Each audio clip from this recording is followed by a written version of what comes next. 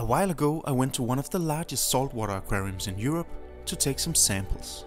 Let's see what I found.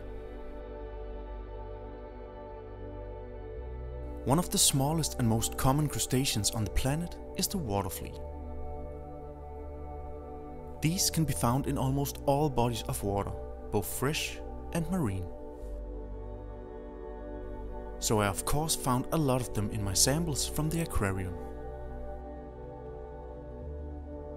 This water flea is currently reproducing and is therefore carrying a pair of egg sacs filled with the next generation of water fleas. Inside each transparent egg we can see the unhatched babies.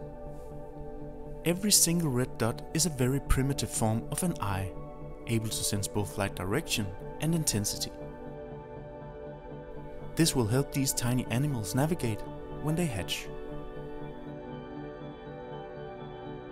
When the eggs hatch, the tiny crustaceans will be in the larval stage and gradually develop into an adult.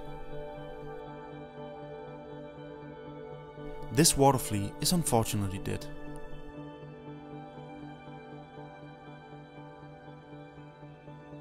But the remains of the animal are filled with tiny scavengers enjoying the decomposing tissues. I also found another tiny and very common crustacean in my samples, the ostracod.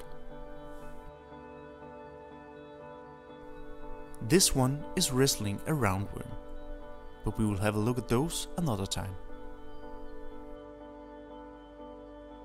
Most ostracods are around a millimeter long. However, the largest species can be more than 30 millimeters in length.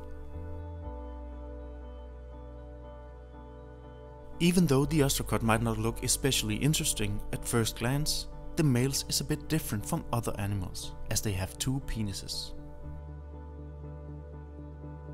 And if that isn't weird enough, their sperm cells are 6 times longer than their entire body, and therefore need to be coiled up inside the body until they are needed.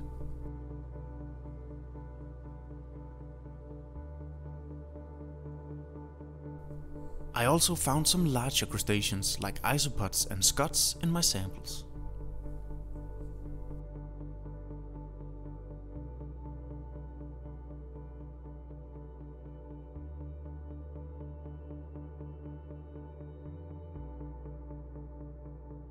However, being a tiny crustacean, an aquarium filled with fish might not be the best place to live.